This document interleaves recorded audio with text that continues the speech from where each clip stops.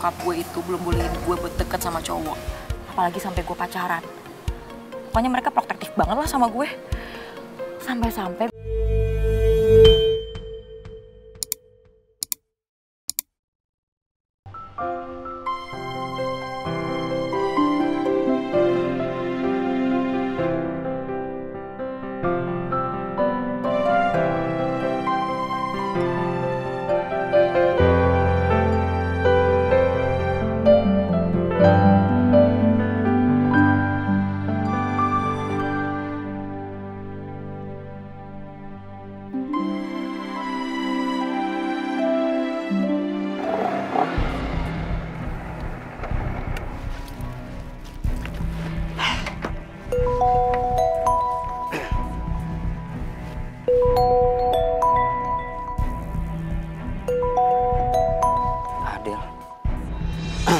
Halo, Halo Mon, lo di mana?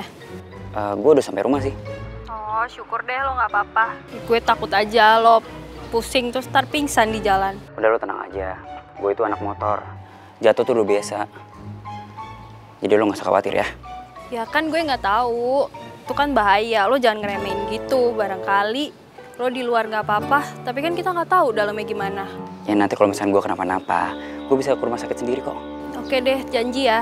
Tapi lo kabarin gue. Soalnya nggak enak gue, nggak biasa aja ngebiarin orang jatuh gara-gara gue. Emang lo sering nabrak orang? Ya adalah dua atau tiga kali. Tapi cuman lo doang sih yang cuek kayak gini. Biasanya mah pada neror gue minta ganti rugi. Kalau enggak, sok-sok kesakitan biar dapat perhatian dari gue. Ya kan gue gak kayak mereka. Udah ya, eh gue masuk dulu ya. Anggap aja kejadian tadi itu gak ada, oke? Oke deh, bye. Nih cowok kok cuek banget sih? Padahal jelas-jelas dia jatuh parah gara-gara gue.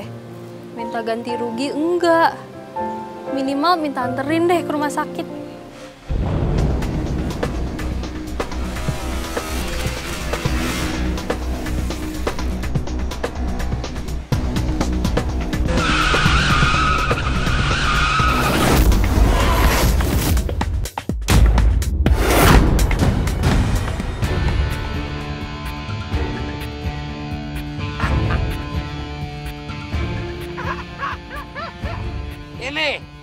Ngajak gua duel di jalan.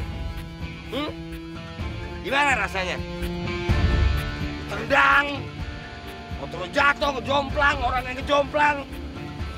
Enak. Lu salah orang, mau ngejahatin orang. Lu tahu motor siapa tadi yang lu tendang? Motor sahabat gua. Motornya boy.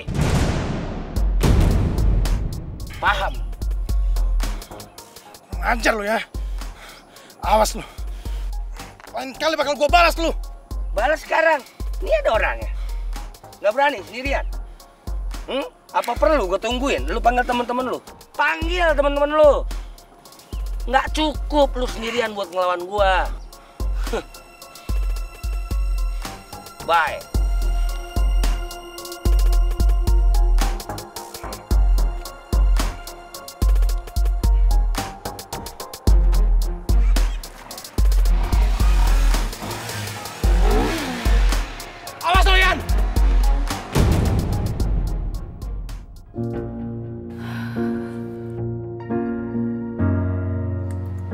Al, lo beneran serius nih? Mau di diskors dari Dilet Bakery? Iya, Rai. Kemarin geng serigala datang ke bakery dan bikin kekacauan di sana. Sampai pada akhirnya Pak Kevin bikin keputusan kayak gitu. Asli, mereka bener-bener keterlaluan tau gak sih? Masih aja ngegangguin Mondi. Gue gak ngerti lagi sama mereka. Orang mau berbuat lebih baik, masih aja dirusuhin. Iya. Aku juga sebenarnya kasihan banget sama Mondi, Rai. Akhir-akhir ini aku ngelihat Mondi kayak tertekan banget. Tapi aku juga nggak bisa banyak bantu Mondi. Mungkin kamu bisa, Rai. Gue jadi nyesel. Gue malah ngilang di saat Mondi butuh gue. Padahal gue gak bermaksud buruk soal itu. Gue cuma mau ngilangin jejaknya Mondi. Biar dia gak ketahuan sama orang tua gue. Gue gak mau sampai Mondi kena marah sama bokap-bokap gue. Bentar. maksudnya kena marah? Sorry nih, kalau boleh tahu, emang orang tua kamu nggak suka sama Mondi? Bokap sama nyokap gue itu belum bolehin gue buat deket sama cowok. Apalagi sampai gue pacaran. Pokoknya mereka protektif banget lah sama gue.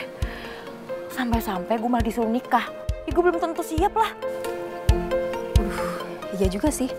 Tapi niat kamu bagus sih, Ray. Maksudnya biar kamu ngejaga dan ngelindungin Mondi juga kan dari orang tua kamu. Thanks ya Al, udah ngertiin gue. Iya. Kalau dibanding Raya, kayaknya rasa suka dan ketulusan aku ke Mondi masih kalah jauh. Al, berarti sekarang lo tahu dong Mondi di mana?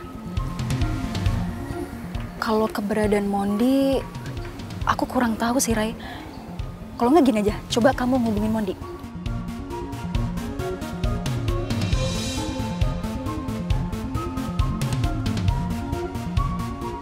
Aduh, tapi kalau gue telepon Mondi, nge-surprise lagi dong.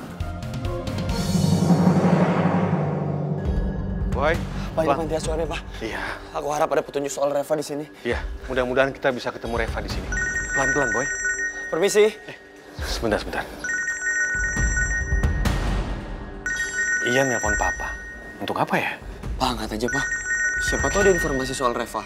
Oke, oke. Iya, halo Yan. Halo Om. Om, em, maaf ganggu waktunya Om.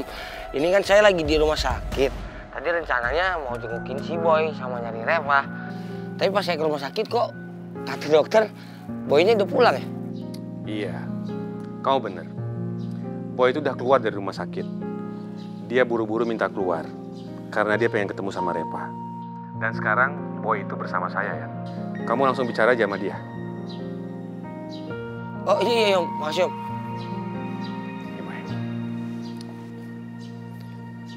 Halo, Yan. Kenapa, Yan? Lu dapet informasi soal Reva. Gimana keadaan dia? Gue belum dapat kabar apa-apa dari Reva. Gue sama teman-teman warrior sampai mencar nyariinnya. Ya udah kalau kayak gitu. Gue juga masih usaha banget, Yan, buat nyari informasi Reva. Eh, eh, eh, eh. Lu kan baru keluar dari rumah sakit. Udah lu istirahat aja. Ngapain sih? Gua sama anak-anak yang lain pasti berusaha buat cari Reva. Udah lu tenang aja. Kalau perlu gua cari sampai gorong-gorong. Sampai ujung kota. Sampai selokan mana juga gua cari. Udah lu tenang aja. Lu istirahat.